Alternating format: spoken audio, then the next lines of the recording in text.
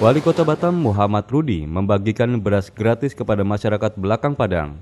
Beras hasil tegahan bea cukai ini diberikan menyusul kelangkaan bahan pokok yang sempat terjadi di Belakang Padang pekan lalu. Wali kota mengatakan pada awalnya bea cukai akan memberikan 10 ton, namun setelah adanya permintaan tambahan dari pemerintah kota Batam, bea cukai memberi tambahan 5 ton lagi, sehingga total 15 ton yang dibagikan untuk masyarakat Belakang Padang.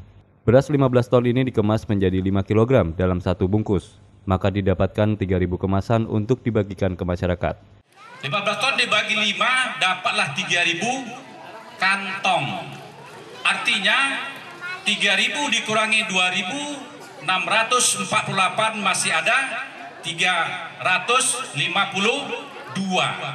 Saya titip kepada Pak Camat dan Pak Lurah Sisanya ini dibagikan kepada saudara kita yang hari ini dari pulau yang di sini. Pemberian beras gratis ini merupakan tindak lanjut dari pertemuan antara Gubernur Kepulauan Riau, Wali Kota Batam dengan Kepala Bea Cukai Batam pada 13 Februari yang lalu. Pertemuan dilakukan pasca Gubernur Kepri meninjau langsung kondisi kelangkaan di belakang Padang. Menipisnya stok bahan pokok termasuk beras di belakang Padang berlangsung sekira 10 hari yang lalu. Hal ini terjadi setelah adanya penangkapan kapal pengangkut bahan pokok dari Batam ke belakang Padang oleh tim Bea Cukai. Karena sesuai dengan aturan Undang-Undang Kawasan Pelabuhan Bebas, Perdagangan Bebas atau Free Trade Zone, setiap barang yang keluar dari Batam harus melengkapi berkas dan membayar pajak pertambahan nilai.